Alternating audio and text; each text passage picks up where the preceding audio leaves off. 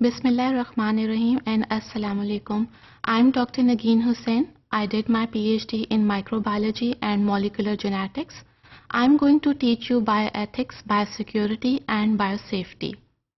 आज हम बायोएथिक्स का पहला टॉपिक करेंगे जो कि है science ethics and values so let's discuss what is science what is ethics and what is values science basically comes from a Latin term CO that means to know यानी कि अपने इर्द गिर्द की चीज़ों के बारे में जानना।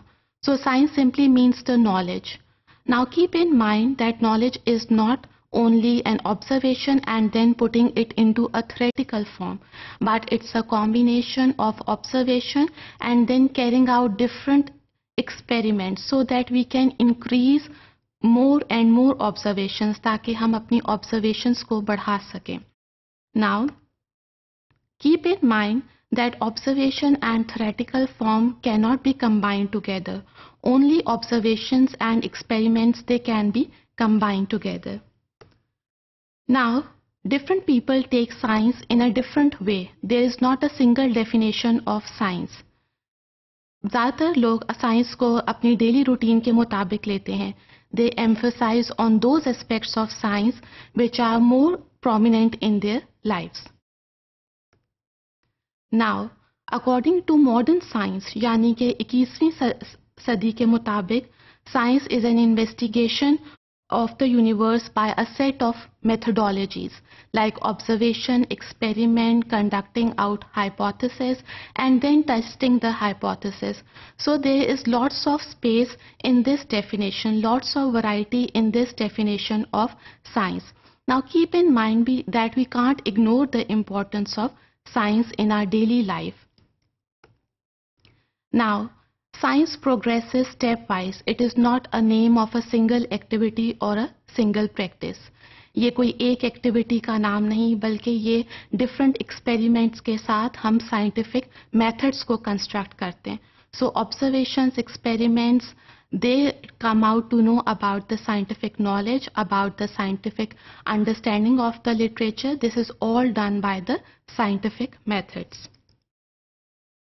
So science is not a value free. We need a lot of fund to improve the scientific research.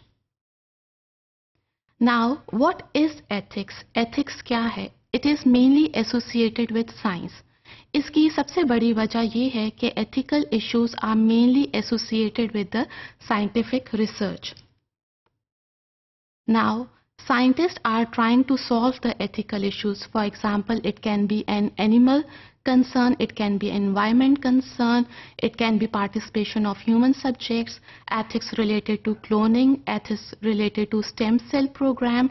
So it can be any ethical issue that can be raised by the scientific methods. Now, आजकल के साइंसदान 21वीं सदी में इन problems को solve करने की कोशिश कर रहे हैं ताकि हर साइंटिफिक रिसर्च जो है वो आगे प्रैक्टिकल लाइफ में ज़्यादा यूजफुल हो सके। Now what is value value is something that worth to us जो हमारे लिए इंपॉर्टेंट है। Science has entered in to our daily lives ताकि हम साइंस की जो हमारे अंदर एडवांटेजेस और चीज़ें सारी साइंस के रिलेटेड हैं, उनको हम देख सकें, जैसे कि electricity about the genetically modified food so proper resource education is very much important because it reflects what society at the times deem to be valuable so we can't improve the science, ethics and values, they are interconnected. When we talk about the science, we always talk about the ethical issues. And when we talk about the ethical issues, we talk about the value of the society.